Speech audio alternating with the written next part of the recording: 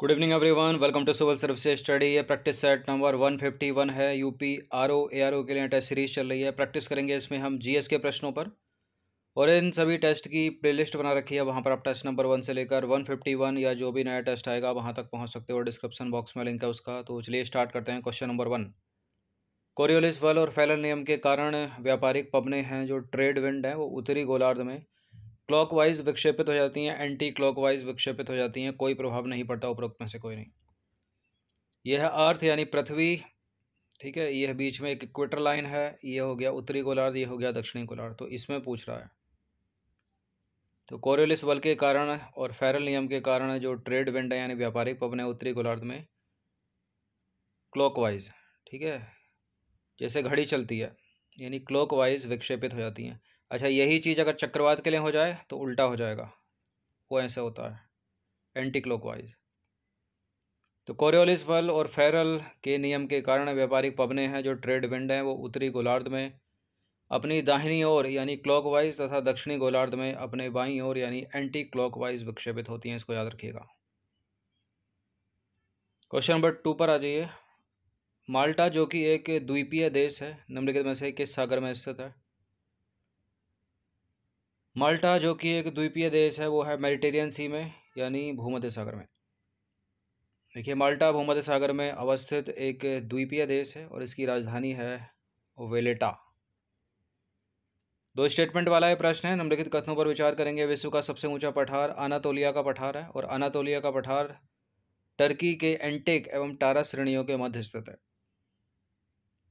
ये तो ल्यूसेंट में ही पड़ा होगा। विश्व का सबसे ऊँचा पठार तिब्बत का पठार है, गलत है पहला स्टेटमेंट दूसरा वाला सही है, अनातोलिया का पठार। टर्की के एंटेक एवं टारा श्रेणियों के मध्य स्थित है केवल वी है, इसका आंसर हो जाएगा। देखिए, विश्व का जो सबसे ऊँचा पठार है, वो तिब्बत का पठार है, न कि अनातोलिया का, और इसकी ऊंचाई है पाँच हज़ार मीटर, जो उत्तर में कुनलुन व दक्षिण में हिमालय पर्वतों से घिरा हुआ है, और अनातोलिया के पठार को टर्की का पठार भी कहा जाता है। इसकी जो औसत ऊंचाई है वो तिब्बत के पठार से बहुत कम है, आठ सौ मीटर। मॉन्ट्रियल नगर निम्नलिखित में से किस नदी के किनारे स्थित है? कनाडा का जो मॉन्ट्रियल, ठीक है, यह है सेंट लॉरेंस नदी के किनारे, ए है इसका आंसर। ये नंबर इस पर कॉल या व्हाट्सअप करके आप फुल टेस्ट सीरीज़ प्राप्त कर सकते हैं, आर ओ ए आर ओ की।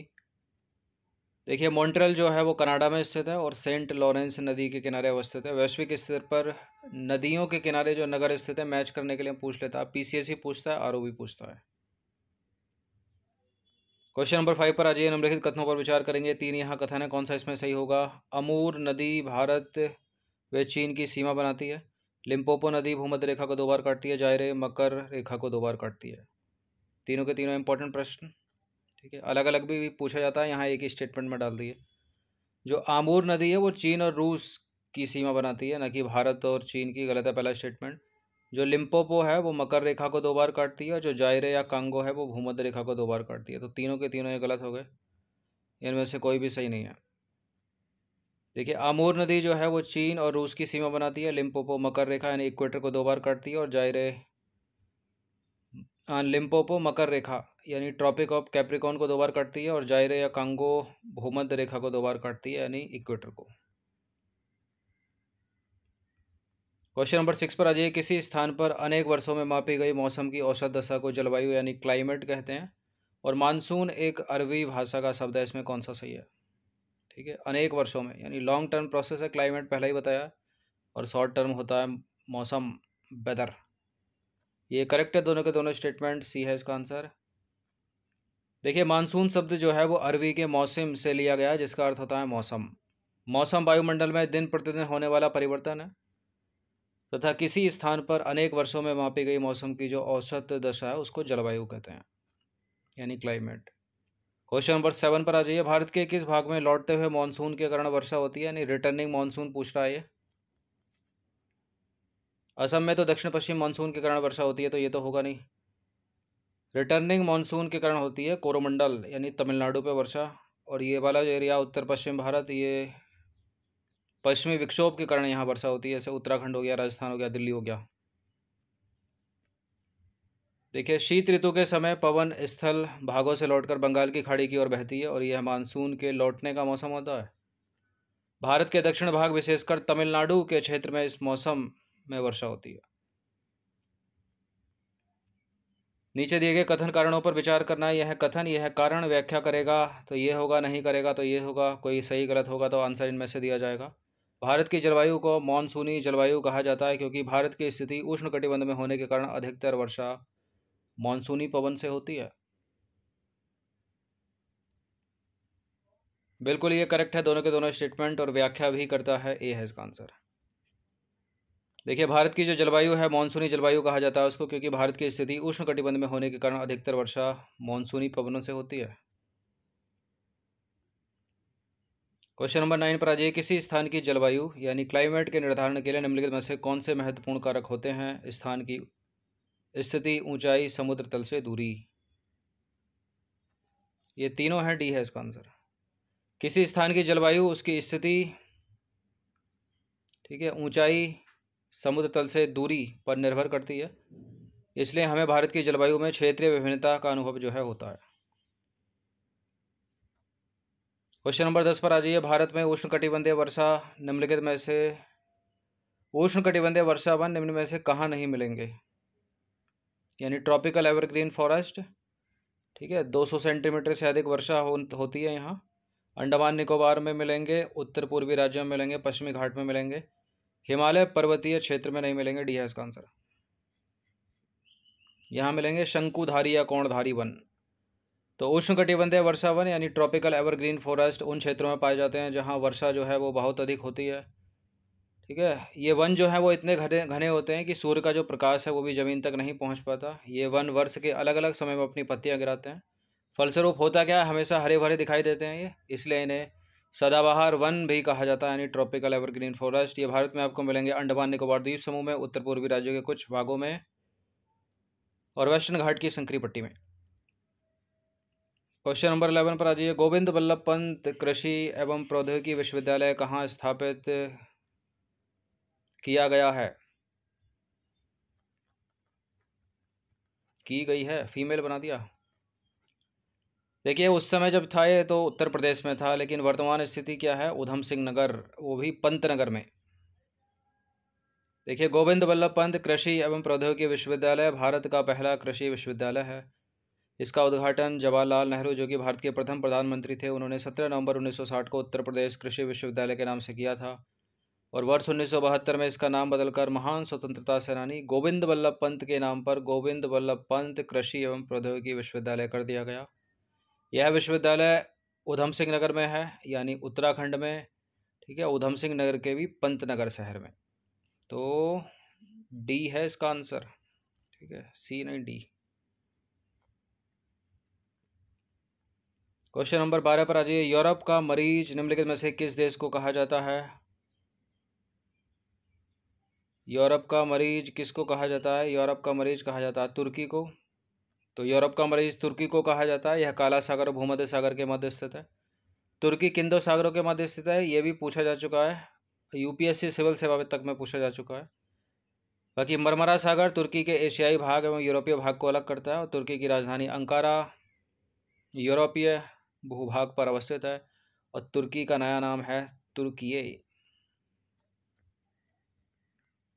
बदला हुआ नाम मतलब क्वेश्चन नंबर थर्टीन पर आ जाइए। निम्नलिखित कथनों पर विचार करेंगे। दो कथन यहाँ पर कौन सा इसमें सही होगा? स्विट्जरलैंड को यूरोप का खेल का मैदान कहा जाता है। हम्बोल्ट जलधारों को यूरोप का गर्म कंबल के उपनाम से जाना जाता है। ये ठंडी गर्म जलधाराएँ इंपॉर्टेंट है। देखिए हम्बोल्ट या पेरू एक ठंडी जलधारा है तो यूरोप का गर्म कंबल तो ये हो नहीं सकती, गलत है। पहला वाला स्टेटमेंट केवल दूसरा वाला ही सही है। गल्फ स्ट्रीम ठीक है? गल्फ स्ट्रीम जलधारा को यूरोप का गर्म कम्बल के उपनाम से जाना जाता है, न कि हम्बोल्ट या पेरू को। यूरोप का जो खेल का मैदान है, वो है स्विट्जरलैंड। क्वेश्चन नंबर फोर्टीन पर अजय निम्नलिखित में से किस देश को यूरोप का भारत कहा जाता है? यूरोप का भारत कहा जाता है इटली को। देखिए, इटली को यूरोप का भारत कहा जाता है क्योंकि यह भी भारत की तरह एक कृषि प्रधान देश है, ठीक है? कृषि प्रधान देश है और यहाँ हिमालय की तरह है आल्प्स माउंटेन। नंबर फिफ्टीन पर आ जाइए, दो स्टेटमेंट वाला प्रश्न कौन सा इसमें करेक्ट होगा? ला नीना एक शीतल जलधारा है, जिसकी उत्पत्ति पेरू के तटवर्ती क्षेत्रों में होती है, और एल नीनो एक गर्म जलधारा है। ये इंपॉर्टेंट है, दोनों के दोनों, ला नीना, एल नीनो। इस बार भी यूपी पीसीएस में प्रश्न बना था, एल नीनो से। सी है इसका आंसर देखिए, ला नीना एक शीतल जलधारा जिसकी उत्पत्ति पेरू के तटवर्ती क्षेत्रों में होती है, वहीं एल नीनो एक गर्म जलधारा है, इसकी उत्पत्ति पेरू के तट पर समानांतर उत्तर से दक्षिण की ओर होती है। क्वेश्चन नंबर सिक्सटीन पर आ जाइए। मूलाभ मेघ, यानी मदर ऑफ़ पर्ल क्लाउड, का निर्माण निम्नलिखित में से किस मंडल में होता है? इनका निर्माण उसी मंडल में होता है, जिसमें ओजोन लेयर पाई जाती है। ओजोन लेयर किसमें पाई जाती है? स्टेटोस्फियर में। स्टेटोस्फियर या समताप मंडल। और क्षोभ मंडल या ट्रोपोस्फियर, इन चीज़ को भी याद रखिएगा। ठीक है? क्योंकि देवनागरी तक में लिखकर पूछ लेता है। तो कभी कभी समताप मंडल यानी स्टेटोस्फियर में विशेष प्रकार के लिए मेघों का निर्माण होता है। विशेष प्रकार के लिए, विशेष प्रकार के मेघों का निर्माण होता है, जिसे मूलाभ मेघ यानी मदर ऑफ़ पॉल क्लाउड कहते हैं। और इसी मंडल में ओजोन परत भी पाई जाती है, यानी स्टेटोस्फियर में, जो सूर्य से आने वाली हानिकारक परावैंगनी किरणों को अवशोषित करके पृथ्वी पर जाने से रोकती है। नंबर सेवनटीन दो स्टेटमेंट वाला प्रश्न, सूर्य से पृथ्वी तक पहुँचने वाले सौर विकिरण ऊर्जा को सूर्यताप कहते हैं। यह लघु ऊर्जा तरंगों के रूप में सूर्य से पृथ्वी पर पहुँचती है। बिल्कुल, ये करेक्ट है, दोनों के दोनों स्टेटमेंट सी है इसका आंसर धुआंधार जलप्रपात निम्नलिखित में से किस नदी पर बना है? इंपॉर्टेंट जलप्रपात है। एग्ज़ाम में कई बार प्रश्न बने, नर्मदा नदी पर है? ऑप्शन में है नर्मदा नदी, नहीं है तो डी है इसका आंसर देखिए, धुआंधार जलप्रपात जो है वो नर्मदा नदी पर स्थित है। बाकी चूलिया, चोलिया जलप्रपात वो चंबल नदी पर है, चित्रकूट जलप्रपात वो इंद्रा इंद्रावती नदी पर है। क्वेश्चन नंबर नाइनटीन पर अजय निम्नलिखित कथनों पर विचार करेंगे। काली मिट्टी का निर्माण बेसाल्ट चट्टानों के टूटने फूटने से होता है। और इसमें आयरन, चूना, एल्युमिनियम तथा मैग्नीशियम की बहुलता होती है। बहुलता होती है, कमी होती है? देखिए, बहुलता ही होती है, करेक्ट है दोनों के, दोनों स्टेटमेंट सी है इसका आंसर तो काली मिट्टी का निर्माण बेसाल चट्टानों के टूटने फूटने से होता है। इसमें आयरन, चूना, पत्थर, एल्युमिनियम तथा मैग्नीशियम की बहुलता होती है। तो करेक्ट हो गए दोनों के दोनों स्टेटमेंट काली मिट्टी को रेगुर सॉइल के नाम से भी जाना जाता है। इस मिट्टी का जो काला रंग है, वो टिटनी फेरस मैग्नेटाइट और जीवाश्म की उपस्थिति के कारण होता है।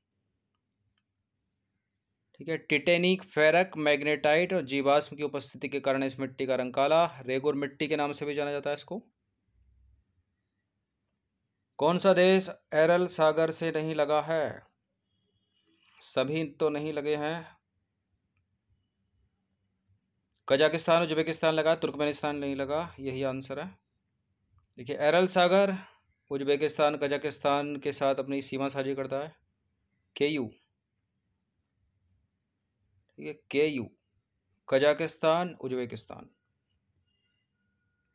Number twenty one पर अजय संयुक्त अरब अमीरात फारस की खाड़ी से संलग्न अरब प्रायद्वीप का एक देश है, जो सात अमीरातों से मिलकर बना है। इन सात अमीरातों में अबू धाबी सबसे बड़ा है। बिल्कुल ये करेक्ट है, दोनों के दोनों स्टेटमेंट सी है इसका आंसर। तो संयुक्त अरब अमीरात में Abu Dhabi, Ajman, Dubai, Fujairah Ras Al Khaimah, Sharjah और उम अल केवेन है। सबसे बड़ा है Abu Dhabi. Number twenty two पर आज ये निम्नलिखित कथनों पर विचार करेंगे। भारत और चीन के मध्य सीमा रेखा को मैकमोहन रेखा कहते हैं और यह उन्नीस सौ चौदह में शिमला में निर्धारित की गई थी।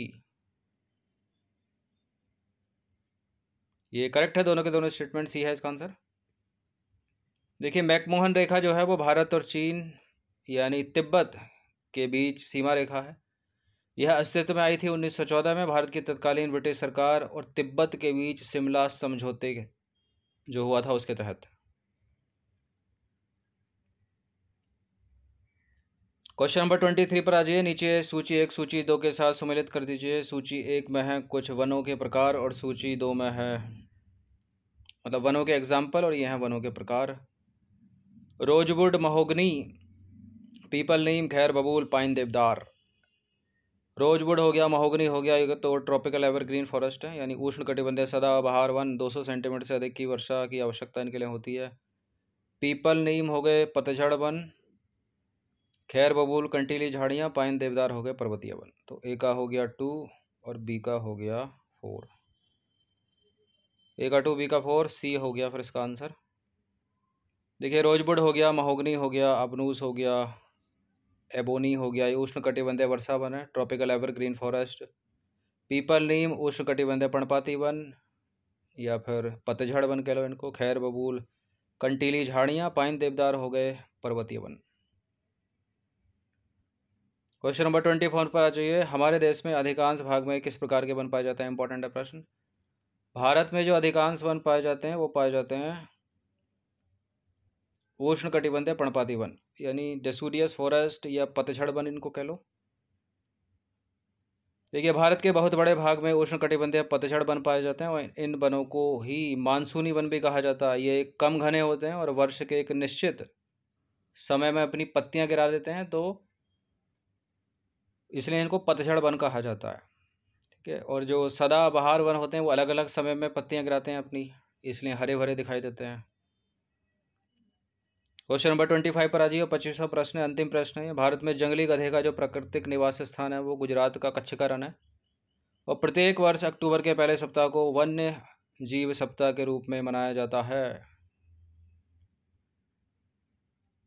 बिल्कुल ये करेक्ट है, दोनों के दोनों स्टेटमेंट सी है इसका आंसर देखिए, भारतीय जंगली गधा अभ्यारण्य, जिसे कभी कभी जंगली गधा वन्य जीव अभ्यारण्य के रूप में जाना जाता है, भारत के गुजरात राज्य में कच्छ के छोटे रण में स्थित है तो पहला वाला स्टेटमेंट सही है और दूसरा भी सही है, क्योंकि दो से आठ अक्टूबर के बीच पूरे भारत में सालाना वन्य जीव सप्ताह मनाया जाता है, यानी अक्टूबर का पहला हफ़्ता।